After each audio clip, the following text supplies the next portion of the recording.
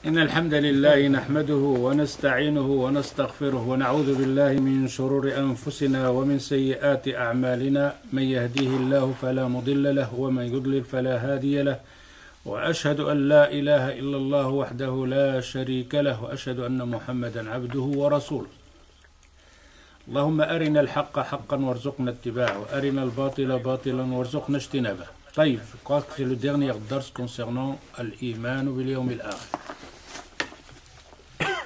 Alors, on avait parlé donc des gens de paradis. كنا هضرنا الناس اللي داخلين في الجنة الحالة ديالهم والجنة إلى غير ذلك. غادي نهضروا شوية على قضية أهل النار les gens de l'enfer.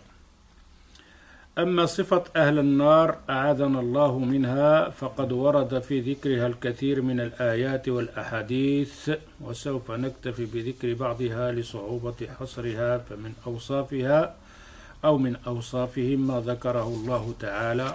الله عز وجل des gens de l'enfer. Il dit ونحشرهم يوم القيامة على وجوههم.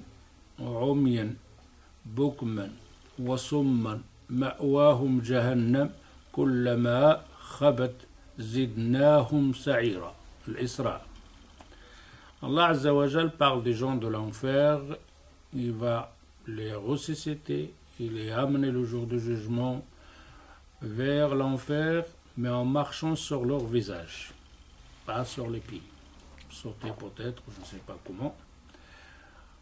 Aveugles, ils ne parlent pas, ils n'entendent rien. Jusqu'à l'enfer. Ma'wahum jahannam. Leur demeure, c'est l'enfer. Kullama khabat zidnahum sa'ira. Et cet enfer-là, ce feu-là, ne s'apaise pas, il augmente tout le temps. Il ne s'arrête pas. C'est-à-dire, il n'y a pas, quand tu allumes le feu, il va se consommer, comme le soleil, il va se consommer, tout. Non. Ça se consomme, ça revient, ça se consomme, ça revient, tout le temps. عن قتادة حدثنا أنس بن مالك أن رجلا قال يا رسول الله كيف يحشر الكافر على وجهه يوم القيامة un des compagnons pose la question au prophète sallallahu alayhi wa sallam quand elle entendait ce verset-là, comme Allah va les faire marcher sur le visage. Il dit au prophète, comment? Comment ils vont marcher sur le visage? C'est une question que tout le monde peut poser. Mais regardez la réponse donc du prophète, la réponse donc qui est aussi simple. Allah Azza wa Jal, le prophète sallallahu alayhi wa sallam, il dit أليس الذي أمشاه على رجليه في الدنيا قادر على أن يمشيه على وجهه يوم القيامة simple technologie passé par là Fendes, Titan, rien celui qui a fait que ses pieds là, il marche sur les pieds, qu'il a fait les muscles, il a fait les genoux, qui a fait les articulations, qui a fait que le cerveau donne les ordres et qui bouge ce pied pour passer ce pied là, celui qui va le faire marcher sur son visage. Ok. Alors, la réponse, c'est justement ça, on, on, déjà on va rentrer dans le dogme donc concernant le qadar ou le qada. On voit bien que la réponse du prophète sallallahu alayhi wa sallam, toujours, qu'Allah Azza wa Jal, Al-Qadir ala kulli à chaque fois qu'on notre cerveau arrive à une certaine limite d'analyser l'image ou l'action qu'on n'y arrive pas parce qu'on n'a jamais vu, etc. Et tout ça, ben, la réponse c'est simple. Allah Azza wa Jal qadir ala kulli shay.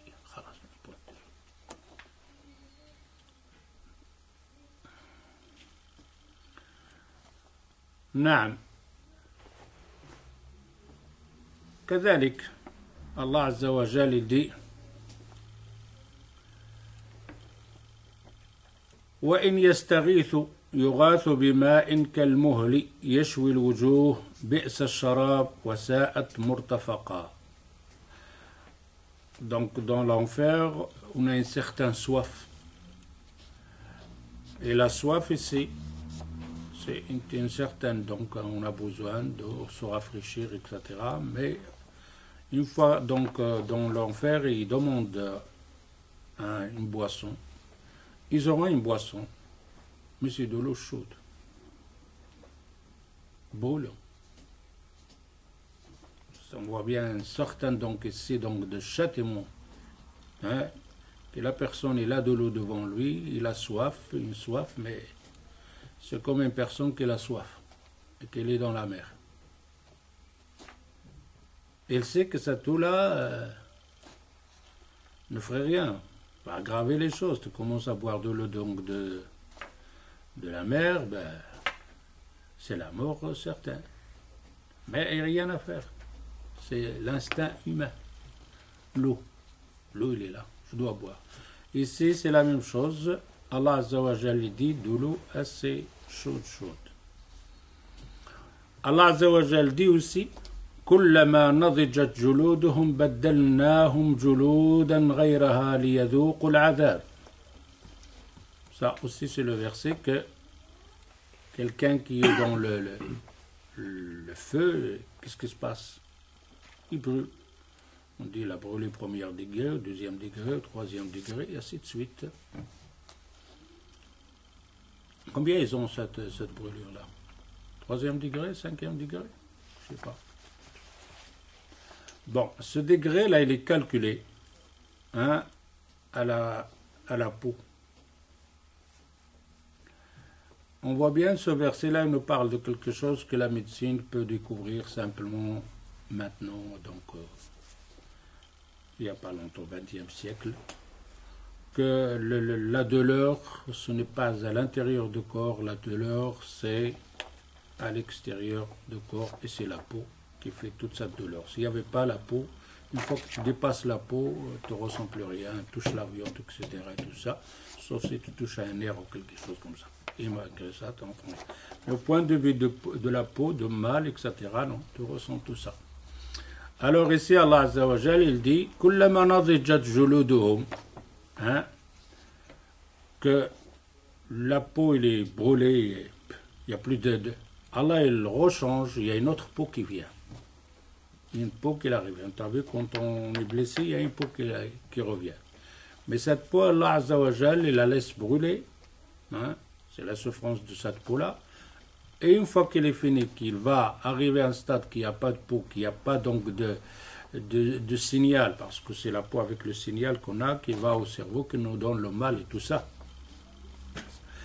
Alors, Allah leur fait changer notre peau. Pourquoi? Pour continuer dans la souffrance. C'est quelque chose vraiment, comme on parle de paradis, quelque chose d'inimaginable. Hein qu'on n'arrive pas à saisir, la même chose au point de vue de l'enfer, quelque chose qu'on n'arrive pas à capter avec notre cerveau ici. وقال تعالى ثم لا يموت فيها ولا يحيا Il ne meurt pas, mais il ne vit pas non plus. Entre la mort et la vie, tout le temps. C'est-à-dire l'âme arrive à un stade comme quoi, khalas, il va sortir du corps, mais il ne sort pas. Il reste là, entre la mort et la vie.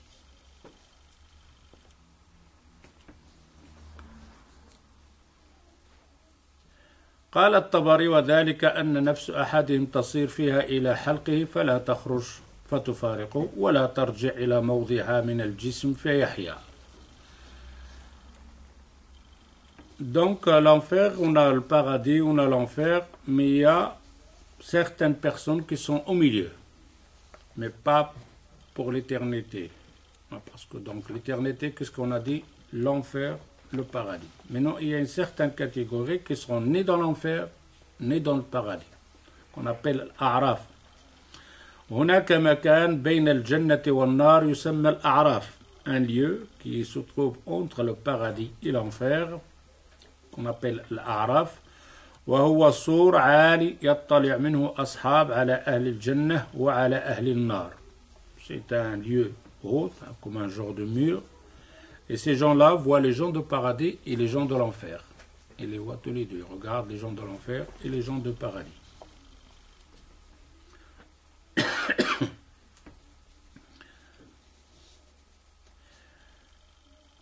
Et si les gens, ces gens-là, il y a une divergence entre le ulama, mais la vie le plus plausible, donc, donc ces gens-là, c'est des gens qui ont leurs actions, les bonnes et mauvais, juste la même chose.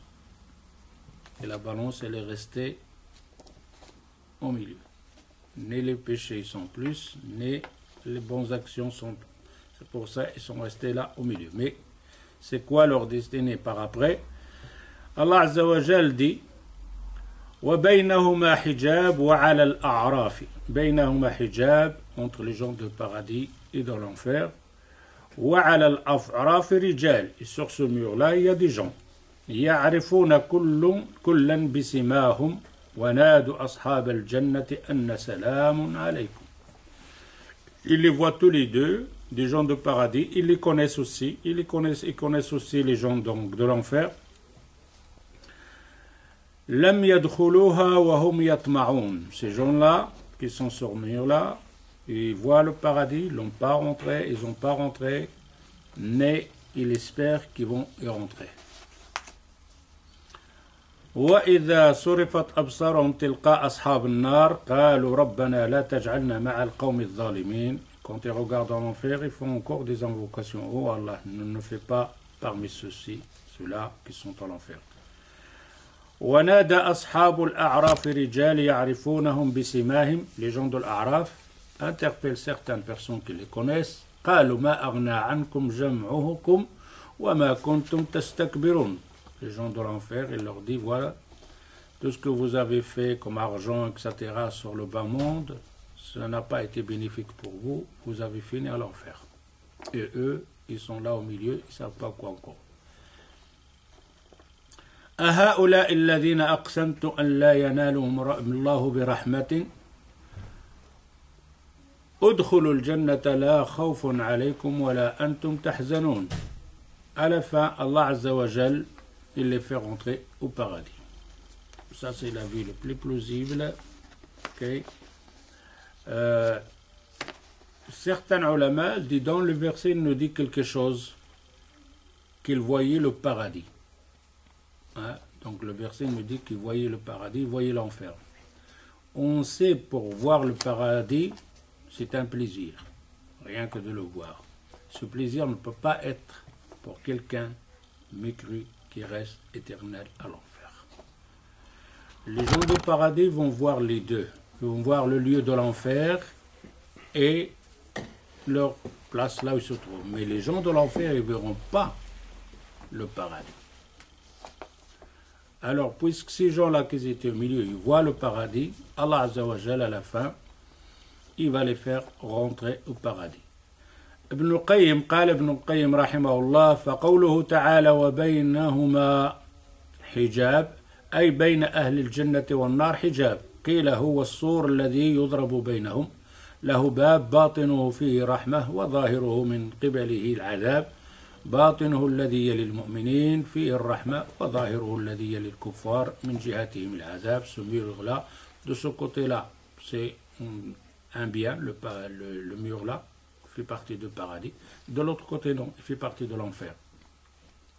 قال حذيفة وعبد الله بن عباس هم قوم استوت حسناتهم ابن عبد الله بن عباس وحذيفة بن اليمان les deux compagnons disent ces gens-là هم قوم استوت حسناتهم وسيئاتهم leurs bonnes actions et leurs mauvaises actions sont la même chose فقصرت بهم سيئاتهم عن الجنة وتجاوزت بهم حسناتهم عن النار alors leurs actions les empêchent donc de rentrer au, au paradis et leurs bonnes actions les empêchent de rentrer à l'enfer فوقف هناك حتى يقضي الله فيهم ما يشاء alors ils sont restés là jusqu'à Allah Azza wa Jal fera de ce qu'il veut يدخلهم الجنة بفضل رحمته Et comme c'est la miséricorde d'Allah Azzawajal qui prime sur sa colère toujours, il rentre au paradis. C'est à cause de ça. Alors on voit bien ici, donc Allah Azzawajal, hein, sa colère et sa miséricorde, mais toujours on regarde dans les versets que la miséricorde d'Allah dépasse tout. Alors, le Jannah, on avait parlé donc de ces. Hmm, Qu'est-ce qu'il y a dedans et tout ça.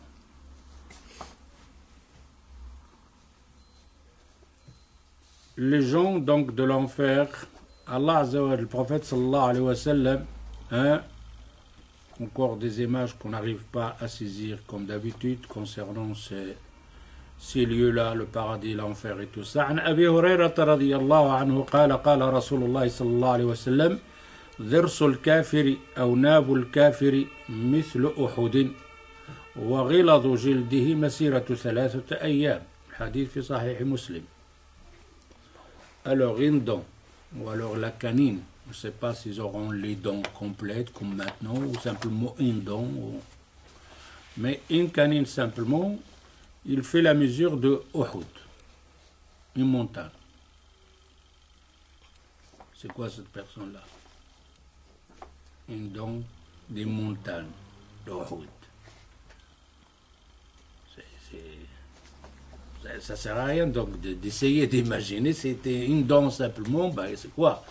La peau, l'ép- l'épaisseur de la peau, faut marcher trois jours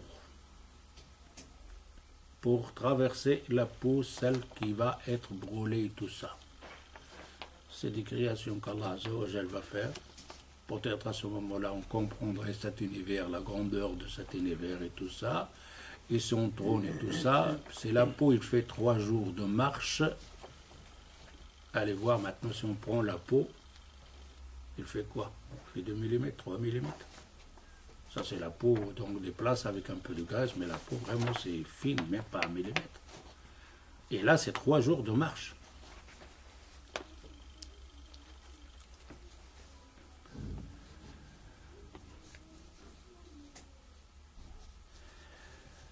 فالنار ليست درجة واحدة بل هي دركات تذهب سفلا كما كلما نزل في النار سفلا اشتد عذابها وازداد حرارها حرها والعياذ بالله Alors on dit donc darakat et da- darajat. Dans le paradis, il y a des darajat.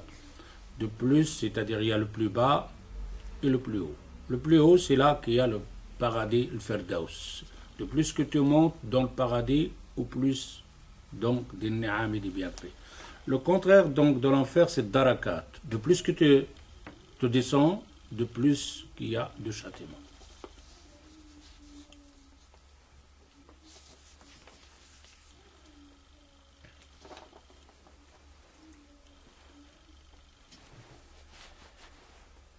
Alors, le, le lien qu'il y a entre les gens de paradis et les gens de l'enfer, ذكر القرآن مثلا لأحد أصحاب الجنة أنه تذكر قرينا رفيقا له في الدنيا كان ينكر البعث والحساب فأراد أن يعرف مصيره فأراه الله قرينه في النار Donc il y a un lien entre les gens de paradis, une discussion, hein, les gens de paradis et de l'enfer. Mais simplement les gens donc de paradis qui voient les gens de l'enfer. Ici, il y avait une personne au paradis, il avait un ami. Donc ce bas monde, il se rappelle, parce qu'une fois qu'on est au paradis, on commence à se rappeler des choses. Ici, une fois, celui-là, il dit, tiens, j'avais un ami, c'est celui-là qui ne croyait pas à ce jour-là, il a essayé donc de me ramener vers sa, son dogme, qu'il n'y a pas de paradis. J'aurais bien voulu voir où il est, comment, comment il est maintenant. Allah Azzawajal va citer cette, cette discussion dans le Coran. Les gens de paradis discutent entre eux. قال قائل منهم إني كان إني كان لي قرين à l'autre, j'avais un ami. يقول أئنك لمن المصدقين أإذا متنا وكنا ترابا وعظاما أئنا لمدينون Il dit, il me disait, est-ce que tu crois à ces histoires-là donc de, de paradis et de l'enfer Tu crois qu'on meurt, on va se ressusciter encore Et après, Allah Azza wa dit à ces gens-là qui discutent entre eux,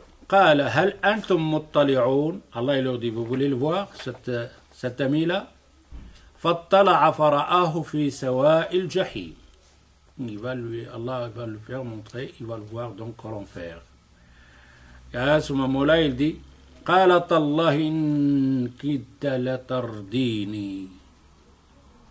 ah, il dit, malheur à toi, t'allais presque me ramener, mec.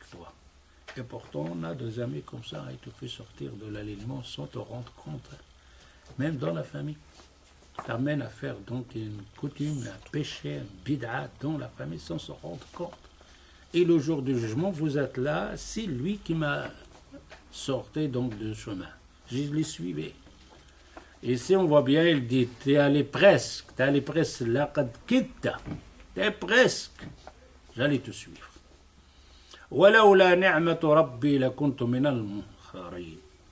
Heureusement, la miséricorde d'Allah est avec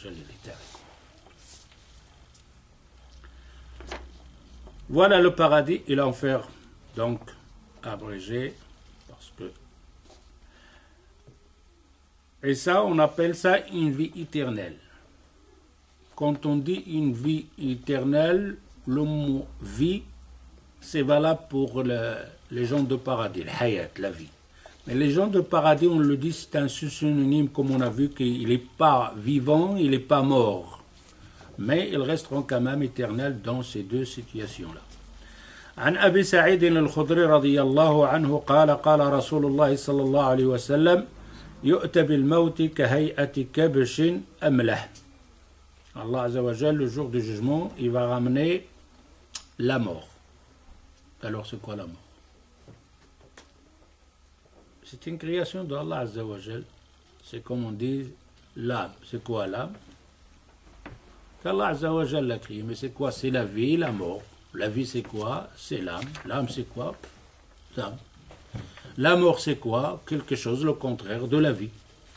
Et Allah Azzawajal va ramener sa, cette, cette création qu'Allah a créée, qui est la cause d'anéantir tout le corps, de le faire mourir, il va la ramener, mais dans l'image d'un mouton. Il va lui donner l'image. Là, on ne le voit pas.